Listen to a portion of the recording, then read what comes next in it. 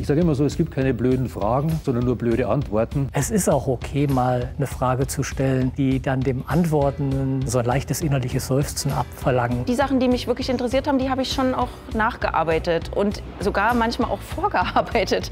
Ja, hm bisschen streberhaft fast. Ich weiß noch, meine erste, mein erstes Gehalt, ich hatte ein Stipendium, also kein Gehalt, aber Stipendium, was ich bekommen habe, als ich äh, Doktorand war. Und ich so dachte, Wahnsinn, die geben mir Geld, dass ich interessante Sachen lesen kann und mich mit Fragen beschäftigen kann, die mich interessieren. Ich habe wirklich lange überlegt, in welchen Fitnessclub ich mich anmelde und habe einen gewählt, der so überteuert ist, dass die Gefahr, dass ich Studierende in der Sauna treffe, verhältnismäßig niedrig ist.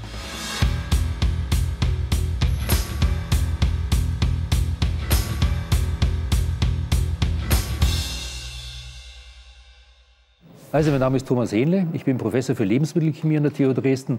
Wir beschäftigen uns mit der Zusammensetzung und der Qualität von Lebensmitteln. Mein Name ist Anja Besand und ich habe an der TU Dresden die Professur für Didaktik der politischen Bildung und bin gleichzeitig auch die Direktorin der John Dewey Forschungsstelle für die Didaktik der Demokratie. Ich bin Simon Meyer-Vieracker und ich bin Professor für angewandte Linguistik am Institut für Germanistik und Medienkulturen. Mein Name ist Rolf Körber und ich äh, bilde Lehrerinnen und Lehrer aus an der Technischen Universität Dresden. Mein Name ist Philipp Kanzker und ich bin Professor für klinische Psychologie und behaviorale Neurowissenschaft. Ich heiße Nico Raschke, ich bin Professorin für geografische Bildung hier an der TU Dresden. Mein Name ist Christine Petzold-Pühain. Ich habe die Professur für virtuelle Produktentwicklung an der Fakultät für Maschinenwesen. Wolltest du als Kind schon Professorin werden? Nein, ich hatte keine Ahnung, dass diese Möglichkeit besteht. Ich kannte Professor Quack aus Entenhausen oder so, wie der hieß, aber sonst ich hatte keine Ahnung von äh, Wissenschaft irgendwie. Als Kind wollte ich mal Förster werden, dann auch mal Tierarzt, später Journalist. Ich wollte als Kind Fußballspieler werden oder Raumfahrer. Mein erster mir bekannter Berufswunsch als Kind, und das war zu Grundschulzeiten, war, dass ich Pfarrer werden wollte, weil ich fand es toll, ähm, dass dann alle mir zuhören müssen und ich darf kluge Dinge sagen. Nun ist das mit dem Professor natürlich ein bisschen ähnlich. Hattest du auf deinem Weg zur Professur auch mal Zweifel? Also ist ja die Frage Zweifel woran. Ähm, ich hatte Zweifel daran, dass ich äh, Professor werden könnte, dass ich da gut genug bin oder dass ich das alles hinkriege. Da habe ich andauernd gezweifelt daran. Ähm, und tue es manchmal auch immer noch. Ich glaube, dadurch, dass ich es wirklich erst so spät als Ziel für mich gesehen habe, äh, war ich mir dann schon ziemlich sicher, dass das alles gut klappen würde. Und da gab es nicht mehr so viele Zweifel. Vielleicht eher vorher, dass man sich das überhaupt nicht zutraut. Man geht diesen langen Weg und ich habe da permanent gezweifelt. Also bis zum Tag vor der Berufung, würde ich sagen, war ich mir nicht sicher, ob ich nicht aufs völlig falsche Pferd gesetzt habe. Ich glaube, wer wirklich ohne Zweifel durch das Studium durchgeht, der sollte mal ein bisschen an sich selber arbeiten. Forschung, Lehre oder Konferenzen? Welcher Teil deiner Arbeit als Wissenschaftlerin macht dir eigentlich am meisten Spaß? Forschung, aber vielleicht in der Kombination mit der Lehre. Ich mag das gerne, wenn ich das verbinden kann. Ähm, Forschung und Lehre ist auf jeden Fall äh, gut ausgewogen. Das eine bedingt das andere. Das, was wir in der Forschung machen, macht Spaß, dann auch in ähm, die Lehre mit reinzubringen. Aus der Lehre kommen doch immer mal wieder ganz interessante Impulse. Ich denke, das eine geht nicht ohne das andere. Du hast aber noch einen wichtigen Punkt vergessen, nämlich das, was man als Outreach, als Transfer bezeichnet. Wir haben da beispielsweise eine Brauerei gegründet. Konferenzen sind toll, äh, weil man mit Kolleginnen und Kollegen in Austausch kommt. Aber ein ganz großer Teil ist halt Management, Drittmittel besorgen, ähm, Menschen führen. Und eine Sache fehlt auch noch in der Aufstellung, nämlich die Wissenschaftskommunikation. Ich habe ja einen TikTok-Kanal, für den ich recht viel Zeit investiere, um äh, meine Wissenschaft und überhaupt Wissenschaft auch an junge Leute zu vermitteln. Und das macht mir auch besonderen Spaß.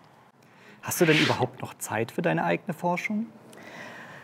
Die muss man sich tatsächlich nehmen, die muss man sich tatsächlich immer wieder erarbeiten. Sonst könnte ich den Job gar nicht machen, sonst könnte ich auch gar nicht die Arbeitsbelastung aushalten. Also das Schöne an dem Beruf der Wissenschaftlerin ist ja schon, dass man zwar nie Freiheit. Vorlesungsfreie Zeit heißt ja nicht, dass man nicht arbeitet, aber dass man schon so Rhythmuswechsel in der Arbeit hat. Also von Phasen, in denen man terminlich viel gebunden ist, weil man Lehrveranstaltungen hat, zu Phasen, in denen die Termine in der Hinsicht zumindest so ein bisschen nachlassen und man mehr am Schreibtisch arbeiten kann. Und das finde ich schon auch sehr gut. ProfessorInnen interessieren sich eigentlich gar nicht für ihre Studierenden, oder? nee, das ist Quatsch. Also, ähm, wodurch der Eindruck vielleicht manchmal entstehen kann, was ich mir vorstellen könnte, ist, dass äh, diese Fülle an Aufgaben, die man hat, die mit der tollen, die mit dem Abwicklungsreichtum einhergehen, was ja schön ist, die führen, das führt dann schon auch manchmal dazu, dass man an die Belastungsgrenze kommt und ähm, dass das dann so wirkt, wie man bügelt jetzt eine Frage mal schnell ab. Ich lerne ja selbst ganz viel von äh, unseren Studierenden. Wir arbeiten ja auch äh, viel mit unseren Studierenden zusammen, äh, natürlich besonders eng mit studentischen Hilfskräften. Wir haben Projekte, wir haben ganz spannenden Austausch äh, in den Abschlussarbeiten. Also ProfessorInnen sind auch ganz unterschiedliche Menschen und es gibt bestimmt welche, die lieber forschen als lehren. Aber ich würde schon sagen, dass so im Gro uns die Studierenden ziemlich am Herzen liegen. Und wir wollen auch geliebt werden und von wem sonst, außer von den Studierenden. Und nerven Studierende, die zu spät in die Vorlesung kommen? Ja, die nerven. Nö, weil ich manchmal die Tür einfach zusperre. Nee, ähm, nö, nicht eigentlich, weil wer zu spät kommt, muss halt dann die paar Minuten, die er nicht da war, irgendwie anderweitig nachholen. In der Vorlesung, finde ich, geht's noch. Aber in den Seminaren und vor allen Dingen in Projektseminaren, da ist es schon dann störend, weil dann den Leuten ja auch der Vorlauf fehlt. Ja, das ist anstrengend, weil sie halt einfach nicht nur den Redefluss unterbrechen, sondern weil sie auch die Aufmerksamkeit äh, mitnehmen von den Studierenden. Das kann ein bisschen anstrengend sein und äh, also jeder von uns ist ja äh, ein Mensch und ähm, es gibt so Momente, wenn ich irgendwie nicht gut drauf bin, wo ich das so wie persönlich nehme. Ne? Warum kommt die zu meiner Vorlesung jetzt zu spät?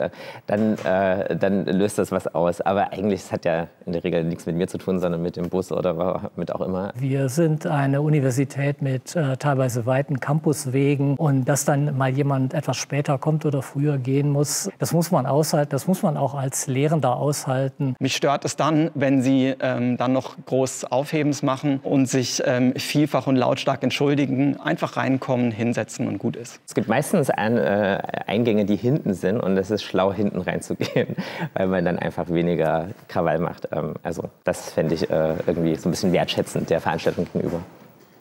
Und wie sehr nerven dich blöde Fragen von Studierenden? Ich sage immer so, es gibt keine blöden Fragen. Es gibt ja eigentlich keine blöden Fragen. Eigentlich gibt es keine blöden Fragen. Wenn überhaupt etwas ein bisschen anstrengend ist, dann ist, sind es die Fragen, äh, die in der gleichen Lehrveranstaltung schon mehrfach beantwortet wurden oder die irgendwo äh, längst bereitstehen. Auf was man sich schon einstellen muss, also ich bin ja jetzt 15 Jahre an der TU Dresden, ist, dass man im Prinzip eine Aufgabe übernommen hat, die immer wieder von vorne anfängt. Also jeden Winter kommen Erstsemesterstudierenden und von daher ist man schon immer wieder auch mit ähnlichen Fragestellungen konfrontiert. Es ist auch okay, mal eine Frage zu stellen, die dann dem Antwortenden so ein leichtes Seufzen, so ein leichtes innerliches Seufzen abverlangen. Das ist schon okay. Das ist Teil unseres Jobs. Hast du während deiner Studienzeit eigentlich immer alle Vorlesungen nachbereitet und die Pflichtliteratur gelesen? Natürlich. nee. Nein. Nö. Nee, ich glaube nicht. Aber die Studienbedingungen zu meiner Zeit waren wirklich ganz andere als ähm, die Studienbedingungen, mit denen Studierende heute konfrontiert sind. Und es, wir hatten auch so Veranstaltungen, wo einfach gut diskutiert wurde dann über die Literatur. Dann habe ich das schon auch gern gelesen. Die Sachen, die mich wirklich interessiert haben, die habe ich schon auch nachgearbeitet und sogar manchmal auch vorgearbeitet. Ja, hm, bisschen streberhaft fast, aber naja, ja. Was braucht man, um Prof zu werden? Hochbegabung, Durchsetzungswillen oder noch was anderes? Ich glaube, man braucht Geduld. Das ist ganz wichtig. Hochbegabung ist sicherlich unglaublich nützlich, wenn man sie hat.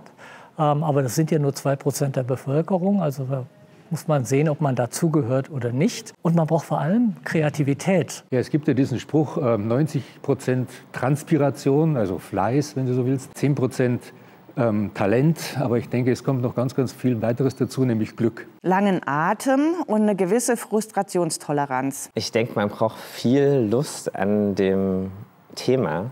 Ähm, also, weil wenn man Spaß an dem Thema hat und Interesse an dem Thema, dann äh, fallen die anderen Dinge so ein bisschen into place. Und eine gewisse Portion Selbstdisziplin ist, glaube ich, auch nicht verkehrt. Versteckst du dich eigentlich, wenn du einem Studierenden in der Freizeit begegnest? Nö, also warum sollte ich mich verstecken? Also ich hoffe, meine Vorlesungen und Übungen und Bewertungen und so weiter sind so, dass ich keine Angst vor Schlägen haben muss. Das liegt vielleicht auch an der langen Corona-Zeit und so weiter. Ich bin manchmal nicht so sicher, wer alles die Studierenden sind, also ob ich, ob ich sie erkennen würde. Wenn ich sie erkenne, freue ich mich, grüße ich auch. Ich treffe manchmal ähm, in der Stadt äh, Studierende, manchmal in äh, ungewöhnlichen Konstellationen, also in ihren Berufen zum Beispiel, die sie als Nebenjobs äh, machen. Ich ähm, begegne auch, äh, was mich besonders freut, manchmal äh, Studierenden äh, bei ähm, Demonstrationen gegen rechts zum Beispiel. Ich habe wirklich lange überlegt, in welchen Fitnessclub ich mich anmelde und habe einen gewählt, der so überteuert ist, dass die Gefahr, dass ich Studierende in der Sauna treffe, verhältnismäßig niedrig ist. Das war's mit dieser Folge der Sitzgelegenheit. Vielen Dank fürs Zuschauen. Viele der ProtagonistInnen heute waren auch schon in anderen Videos auf unserem Kanal zu sehen. Die findet ihr über das i. Und in der Endcard gibt es jetzt noch die letzte Folge der Sitzgelegenheit mit SchauspielerInnen von Die Bühne und darunter eine Folge von Auf Arbeit mit mit Professor Andres Lasani.